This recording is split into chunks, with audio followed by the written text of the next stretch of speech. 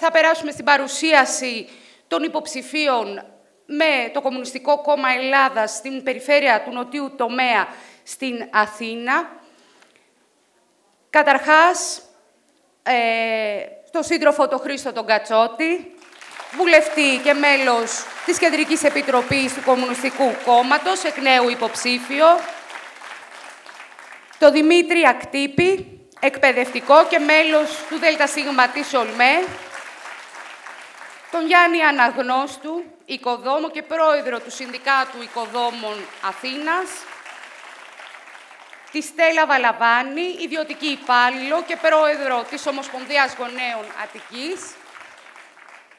Την Κανέλα Γεωργοπούλου, ιδιωτική υπάλληλο και δημοτική σύμβουλο Κεσαριανής,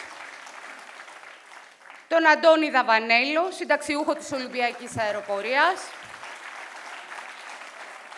τη Γιώτα Δήμου, ιδιωτική υπάλληλο και δημοτική σύμβουλο Αγίου Δημητρίου,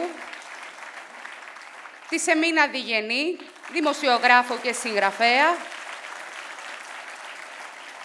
την Ειρήνη Ελευθεριάδου, συνταξιούχο οδοντίατρο και πρόεδρο του Ποντιακού Συλλόγου ΚΟΠΑ,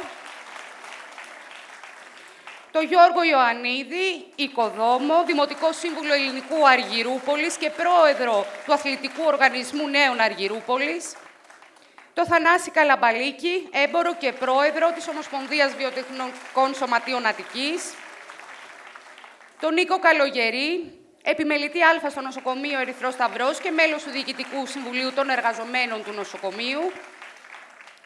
Τον Ανδρέα Καραβίδα, φυσικοθεραπευτή και δημοτικό σύμβουλο ζωγράφου, μέλος του Διοικητικού Συμβουλίου του Πανελλήνιους Συλλόγου Φυσικοθεραπευτών. Τον Αλέξανδρο Κορονάκο, υποπλήρχο πολεμικού ναυτικού 1 αποστρατεία. Τον Αλέξανδρο Μπουγά, πτυχιούχο του Τμήματος Πολιτικών Επιστημών και Ιστορίας του Παντίου Πανεπιστημίου και στέλεχος του Κομμουνιστικού Κόμματος, τον Παύλο Ορκόπουλο, ηθοποιό, τη Δανάη Πλάκαρίδη, μεταδιδακτορική ερευνήτρια στο Ερευνητικό Κέντρο Αθηνά,